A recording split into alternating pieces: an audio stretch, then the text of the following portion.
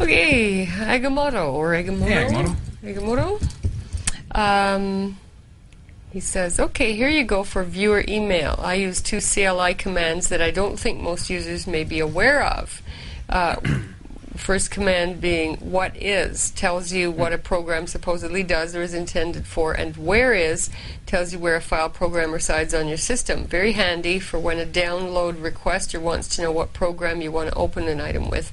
Pop open a shell, where is program, enter the result into the requester. And Randy says, I hope these help people navigate their systems better. There may be GUI versions, but I haven't bothered to look for them. Very cool. Um, there's a there's a command CLI means command line interface. So these are like terminal applications, things that you can run in the terminal on on Ubuntu or on Linux.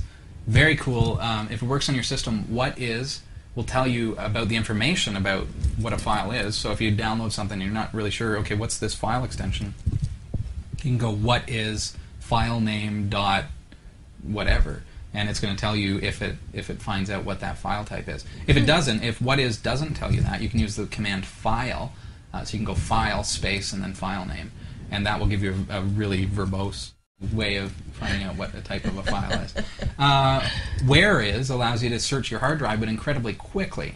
So if you're currently using like the find command to, to track down a file on your hard drive recursively, what is uh, or where is, pardon Where me, is. will help you uh, find that a lot faster. So where is, and then the file name, and if it's uh, if it's indexed, it should be uh, it should be fairly fast to find that for you. Good tips from. Randy.